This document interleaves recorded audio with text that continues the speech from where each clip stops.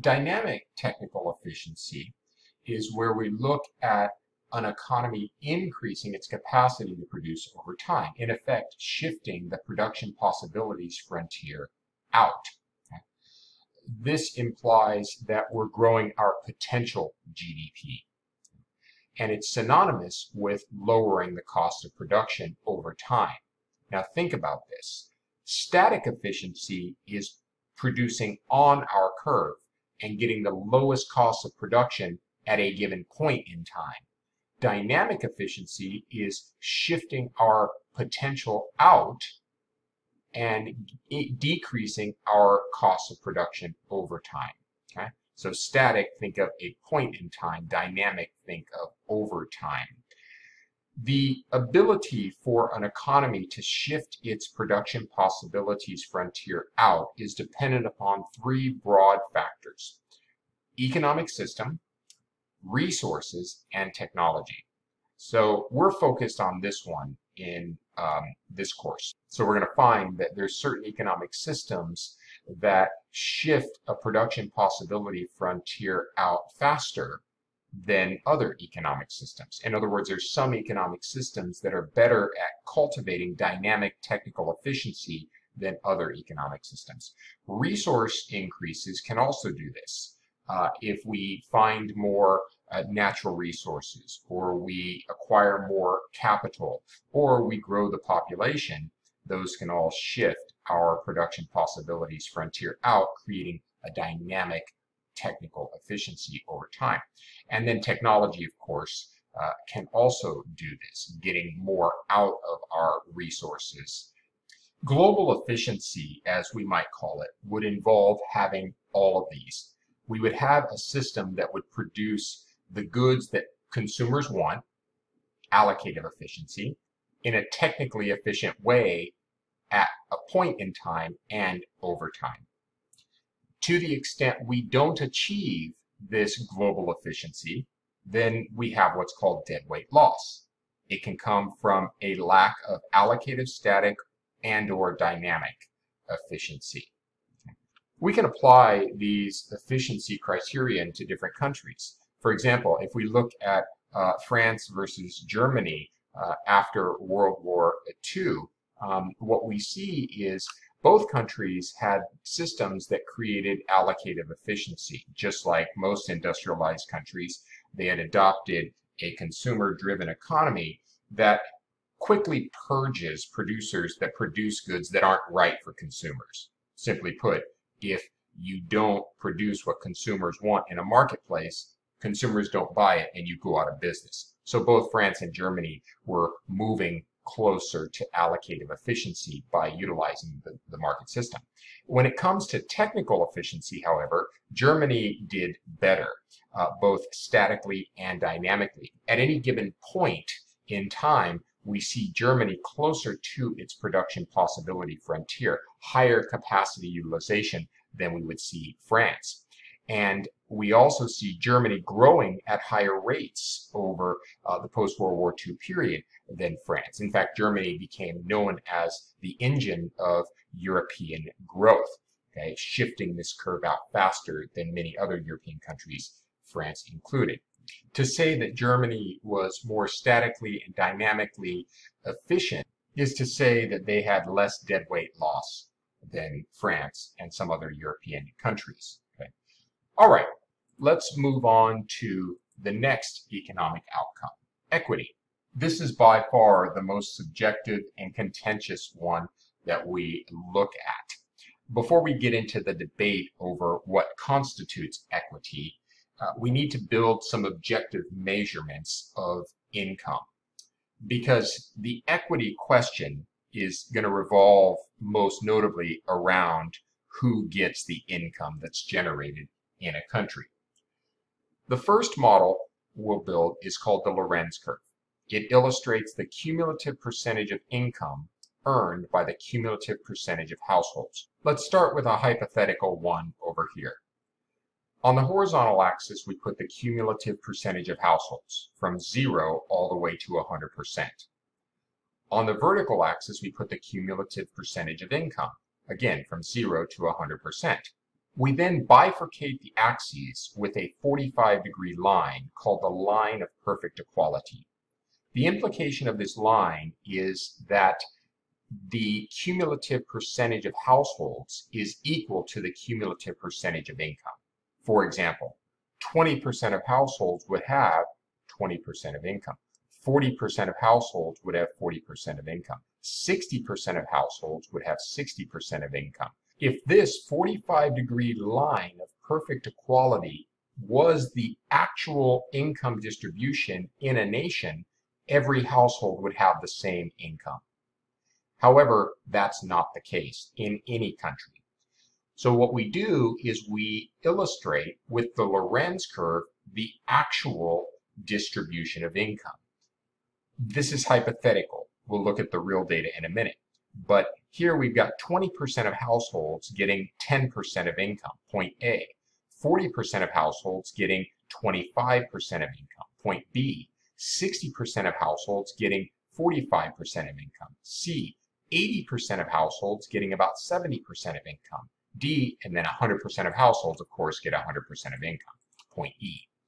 Now, what we do is connect the dots and construct our Lorenz curve. This allows us to measure the extent of inequality. The further the Lorenz curve is from the line of perfect equality, the greater the inequality of income. Example, this data here is reflecting the US in 1980, the dark green, and 2016, the light green. You'll note that the Lorenz curve has moved out further away from the line of perfect equality, which means we've increased the amount of income inequality from 1980 to 2016. Another way to identify income inequality is with the Gini coefficient. In fact, this is the most common way that we would quantify income inequality. And it's derived from the Lorenz curve take a look at this example here. We've already established that the Lorenz curve is going to deviate from the line of perfect equality. Let's call that deviation area, area A. Okay? And then the remaining area under the right triangle here is going to be area B. So we can create a formula that quantifies area A as a fraction of area A and B. So A over A plus B. In essence, it's looking at the area of inequality relative to the entire potential area of inequality. Because if this Lorenz curve continues to bow out and out and out, eventually it's going to fill this entire area A and B. That, by the way, would be a perfectly unequal economy. And that would be where one household gets all the income and all other households get nothing. Okay? By using this formula, we create the metric. If area A is zero, that means the Lorenz curve must be perfectly aligned with the line of equality. Zero over anything is zero. So perfect equality is represented by a Gini of zero. If we had perfect inequality, that would mean area A would occupy this entire space, leaving B zero. If B goes to zero, you have A over A and a Gini of one. So the Gini coefficient will range from zero to one. As we move towards a more unequal income distribution, we get closer to 1. As we move towards a more equal distribution, we get closer to 0. So the US here would not only have a Lorenz curve moving further away from the line of perfect equality, we would also see that Gini coefficient moving away from 0 and closer to 1.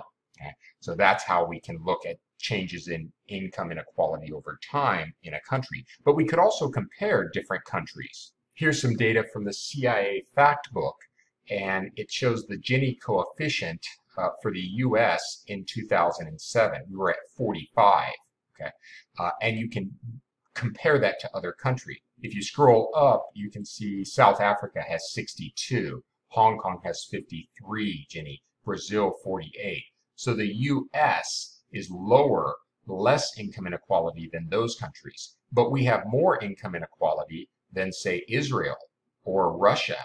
Um, continue down some of these countries, if we get to uh, Sweden, for example, only at 24, much less income inequality. All right, so we can look at real data. Here's some data on the Gini for the US over time. So if you go back to 1974, it was 35, and you can see it went up, up, up, up, and it's at its highest level in 2016 at 41. Now keep in mind that income is usually the focus when it comes to these equity questions, but we could do this same analysis with the distribution of wealth, right? What people own. Uh, and we would see even more unequal income distribution um, in, in pretty much every country than we see with income. We're going to stick with income though because it's the most highly debated. This illustration here color codes by country uh, the Gini index. So it gives you kind of global insight into where inequality is more uh, severe and where it's less severe. Uh, for example, you'll notice that the greens tend to imply lower Gini coefficients. So you got Canada, right? You've got Western Europe, parts of Africa, Australia. And then the reds imply that we have more inequality. So the US, South America, other parts of Africa, Southern Africa, China, Russia. The map tells us undoubtedly there is diversity across the globe in the income distribution. It doesn't, however, tell us if that's good or bad. That's subjective, and it depends on who you talk to. Some people are proponents of the equal opportunity theory that says if a country gives people equal opportunity, which means government does not stand in your way in achieving your potential, then whatever the distribution that results from that is fair, equitable if you work harder or you save more or you have uh, natural talents that make you more valuable to other people, you're going to have a higher income than those that don't do those things. In contrast, people that are proponents of the equal outcome theory uh, believe that uh, distribution should be based on state intervention. Okay, uh, in other words, even if you work hard or you have natural talents, uh, you should not be able to get a higher income than someone that had that doesn't have those characteristics and the state should be a mechanism that ensures equal outcomes so if you're a great singer for example or a great athlete in the equal opportunity theory, you would get a higher income because you're going to be much more valuable to others. They're going to be throwing their money at you to see you perform. But in the equal outcome theory, whatever excess income you get from people that don't possess those talents would be redistributed away from you to them. Of course, it's common to have a mixed evaluation where maybe you promote equal opportunity but then use government subsidies, taxes, and transfers uh, in order to redistribute funds away from some higher income earners to some lower income earners. Not attempting to get a perfectly equal outcome in the distribution, but trying to remedy things like poverty and uh, providing for those that can't provide for themselves. Okay, uh, these mixed evaluations are what are most common today across the globe.